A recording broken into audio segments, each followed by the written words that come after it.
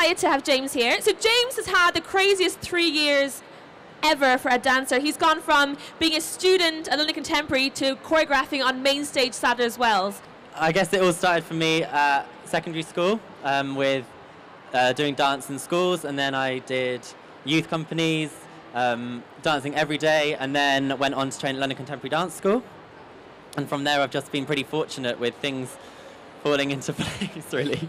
And before you went to London Contemporary Dance School, was there any teachers or that were or any artists that you looked up to? Um, I remember coming here actually about six or seven years ago and seeing Yasmeen Vardimon on this stage, which was pretty inspiring back then, and also Rafael Bonachela, who was a big inspiration back then.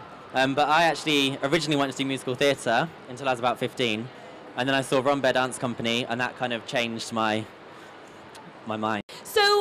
So, you won the very first Matthew Bourne Choreography Award 2012. Can you tell us how what was the application process and then what happened with that? So I had to put an application in for to for the show that I wanted to put on, um, and I got through the first round and then had interviews, um, which was with Matt and a couple of other people, um, and then I found out actually when I was on holiday that I'd won it, which was quite a nice end to the holiday. You're still also performing alongside choreographing. How does that work? Um, it's quite tricky and it's getting more difficult the more um, sort of choreography that I start to do and being able to slot it in.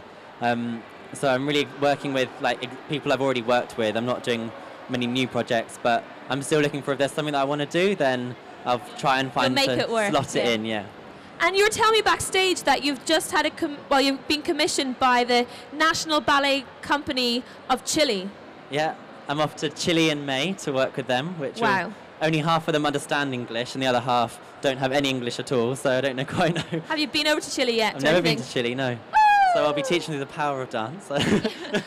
Fantastic, we love it. And you've just also had a commission with Scottish Ballet. Yeah, I've been up with Scottish Ballet um, making two new pieces for them, which will um, be premiered in August, I think.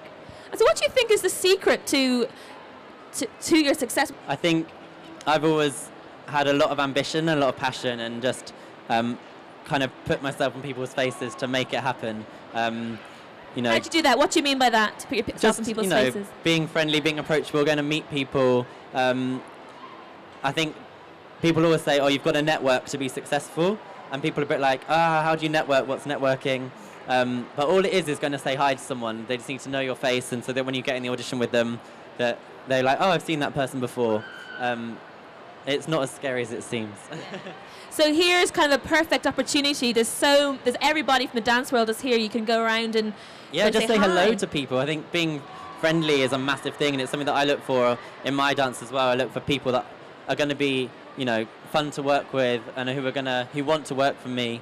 Um, I think that's a massive part of it. It's not just obviously they have to be amazingly talented, and you I'd expect that, but Obviously. obviously, um, but it's also someone who's you know going to have passion and drive and energy and bring fun to the studio. I'm just thinking there's somebody in front of you with a cat t-shirt, Centre Advanced Training. Yeah, no, I, I've worked with CAT students on commissions as well, um, creating pieces for them.